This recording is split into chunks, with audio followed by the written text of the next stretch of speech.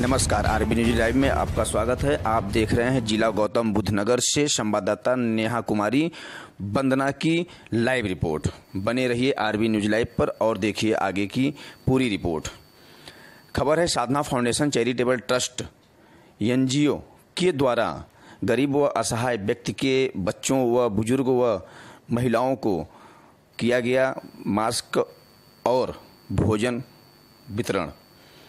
साधना foundation charitable trust के संस्थापक व राष्ट्रीय अध्यक्ष श्री नवरत्न दुबे जी ने आज कई दिनों से हर क्षेत्र, हर कस्बा और हर झुग्गी झोपड़ियों में लोगों को भोजन व मास्क तथा कुछ ज़रूरत की वस्तुएँ वितरण करवा रहे हैं।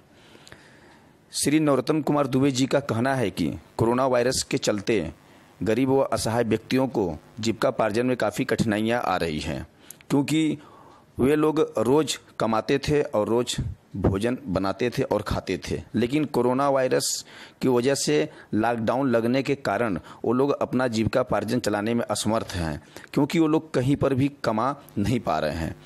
इसलिए साधना फाउंडेशन चैरिटेबल ट्रस्ट की पूरी टीम ऐसे लोगों की मददगार साबित हो रहा है। हर क्षेत्र हर जिला हर प्रदेश में साधना फाउंडेशन चैरिटेबल ट्रस्ट अपनी टीम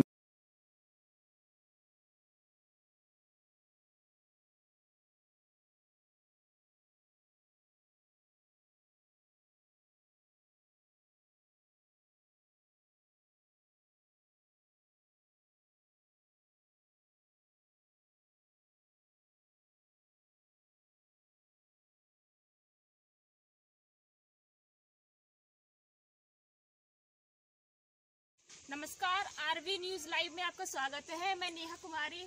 आज आपको ग्रेटर नोएडा से कुछ झुग्गी झोपड़ियों की तस्वीर दिखाती हूँ जो इन लोगों की कितनी बुरी हालत हो रही है। तो चलिए आप लोग देख सकते बने रहिए आरवी न्यूज़ लाइव पर और देखिए यह पूरी रिपोर्ट जिसमें लोगों को वितरण किया जा रहा है मास्क और भोजन। यह साधना फाउंडेशन चैरिटेबल ट्रस्ट के संस्थापक श्री नरोत्तम कुमार दुबे जी का बहुत ही सराहनीय कार्य है। और उनके जितने भी कार्यकर्ता गण हैं उनका भी बहुत ही सराहनीय कार्य है। देखिए यह पूरी रिपोर्ट।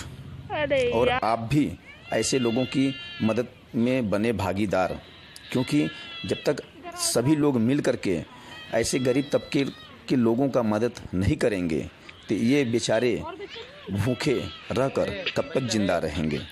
इनके बच्चे भूख से बिलकते हैं।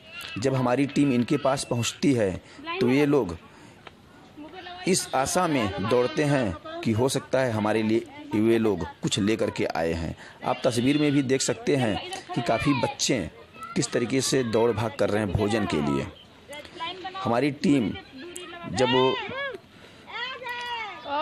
मौके पर पड़ताल करने के लिए गई तो वहाँ देखा कि झुग्गी झोपड़ियों में लोग भोजन की वजह से काफ़ी परेशान और हैरान हैं। जब वहाँ के लोगों से पूछा गया कि आप लोगों का मदद करने संस्था या सरकार के लोग आते हैं या नहीं तो उन्होंने बोला कि हम लोगों को देखने यहाँ पर न सरकार का कोई व्यक्ति आता है, न ही कोई संस्था वाले पहुँच रहे हैं। हम लोग काफ़ी हैरान और परेशान हैं। हम लोग अपने बच्चों की जीविकापार्जन में असमर्थ हैं क्योंकि हम लोग उनको खाना पीना नहीं दे पाते हैं। तो लगा कर रखिए ना ये तो इसे निकाल के फेंको। आ जाओ इधर आ जाओ।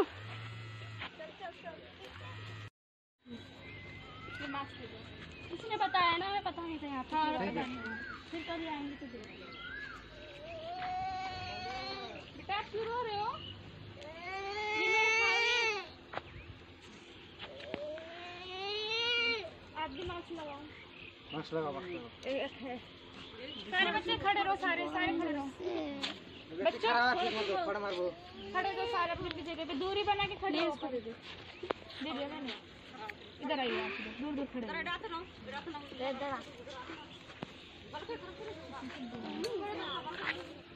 ये भी बच्चा इधर नहीं है। भाई से। घरे ओए कतरा ओए मको मास्क दे ओए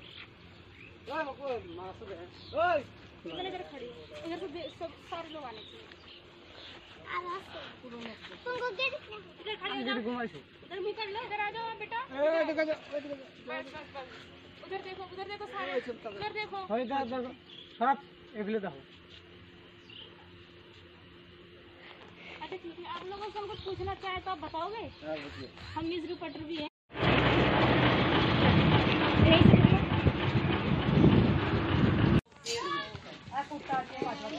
रुको रुको रुको बीच में फ़ोटो भी खींच लो इसलिए।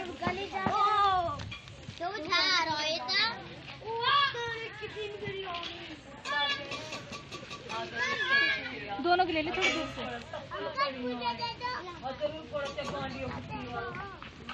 बेटा, हट जाइए, जिसे जिसे मिल गया है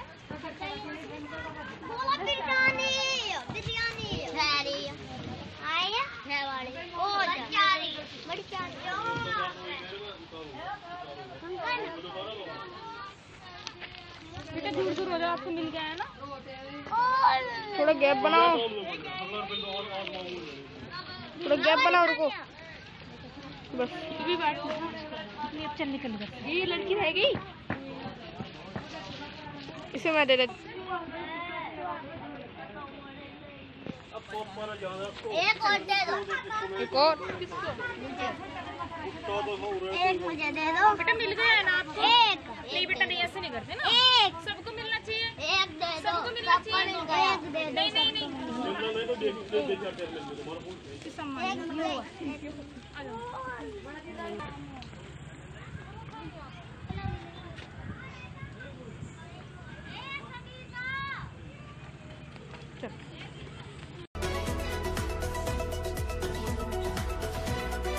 तेज सबसे आगे खबरें देखे सबसे पहले। आपको करे हर खबर से रूबरू। आगे ऐसे और खबरें देखने के लिए आरबी न्यूज़ डॉट लाइव को सब्सक्राइब करें, हमारे चैनल के साथ बने रहें। बदलेगा खबरों का अंदाज, बदलेगा खबरों का मिजाज, बुलंद होगी जनता की आवाज़। आपका सरों का असल मुद्दों की पुकार, पत्रकारिता की धार। खेत, खलियान, महिलाओं का सम्मान, देश के नौजवान, जनता मांगे समाधान, सड़क पर घमासान, भ्रष्टाचार से परेशान।